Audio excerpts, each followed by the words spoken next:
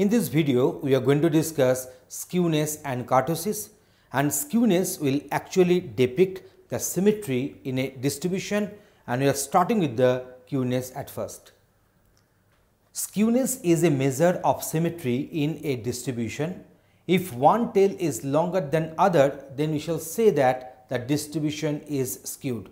If you consider the income of the country or say population of country, then you can get a skewed distribution. Different ways to measure a skew. One is the Pearson mode, Bowley, Kelly's measure and Momental. Which technique you would use depend on what you know about your data. That means what are the parameters you are having on your set of data that will decide that which technique you are going to adopt.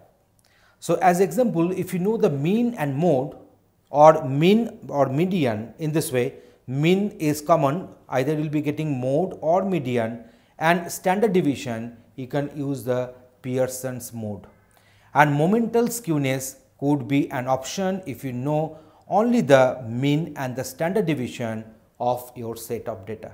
So, that will decide that which calculation or which technique will be applicable to get the skewness of one distribution.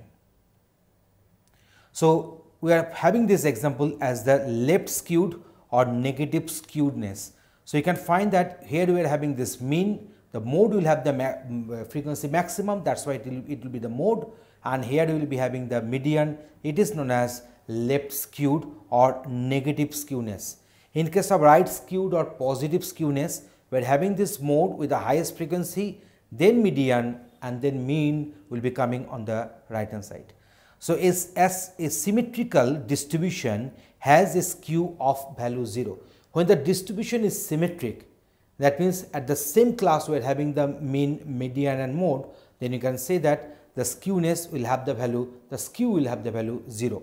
A positive result means that your data is positively skewed and negative results means that your data is negatively skewed. So, here we have demonstrated what is the meaning of the positive skewed and negative skewed. Now, here we are going for the respective kurtosis.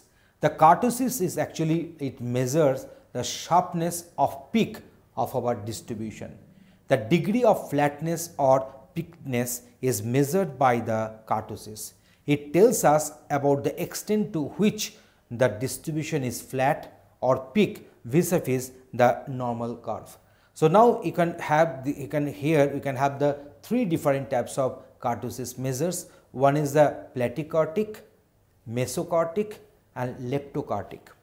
The normal curve is called the mesokurtic curve that means this one this is a normal curve and if the curve of a distribution is more peaked than the normal or mesokurtic curve then it is referred to as the leptokurtic.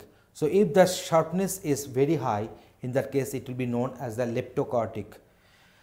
If a curve is less peaked than a normal curve then it is called a platykurtic curve. So, there is a platykurtic you can get this one. So, there is a platykurtic, there is a mesokurtic and the upper one is the leptokurtic. So, if a curve is less peaked than a normal curve, it is called as a platykurtic curve. So, now how to calculate the respective kurtosis here. So, that is mu 4 into mu 2, where mu 2 is equal to having this expression and mu 4 is having this expression where x bar is denoting the mean of the set of data.